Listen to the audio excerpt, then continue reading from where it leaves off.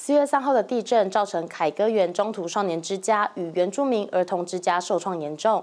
台湾冷冻空调展望关怀协会发起捐助的行动，获得台湾三菱电机等多家企业响应，赞助空调设备及相关的配装材料，希望让这两所关怀机构能够早日重建。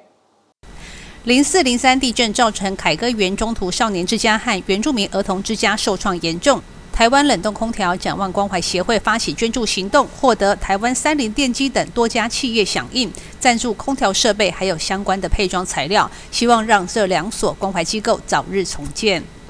我们长期在关注这边的孩子们，所以我们跟这边的孩子有呃产学上的各方面的去讲。那当然发生这么大的地震，我们虽然说在台中在西部，心里是担心的。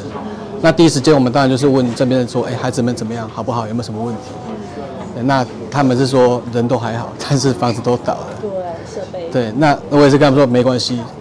房子倒了，我们的没有倒，桥断了，我们的路没有断，我们我们的爱没有断，你不要担心，我们赶快过去看。我们今天捐赠的话，是我们台湾森林电机的啊啊，就是变频的冷暖空调哦。那这个部分的话，像啊哦，对他们的生活来讲，其实是有一个非常正面的一个帮助哦。就是我们在呃冬天的时候，我们可能哦会有暖暖气，那我们在夏天的时候可以提供冷气，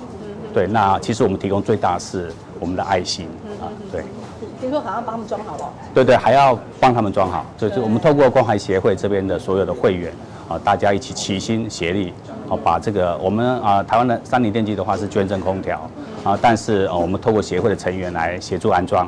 那后续还有一些啊售后服务的工作。啊，这个部分我们全部都包下来。先员胡仁顺也特别到场，感谢来自企业的爱心捐助。呃，我想呃，这次零四零三地震哈，真的呃让呃整个花莲县哈呃受这个地震之苦哈。我想这当中有非常多的资源啊要到花莲来，那特别几个单位哈，那也透过我们办公室来协助第一线的来协助这个灾民，我们对他们非常的呃感谢哈。那重建的路非常的遥远，那我想花莲作为一个观光的城市哈，那要让观光客有信心，那我们想，我们会持续的努力。那公私力的合作哈，更是需要啊，不只是呃民间企业的协助帮忙。我想我们花莲县政府哈，还是要持续的关怀来协助我们这些灾户。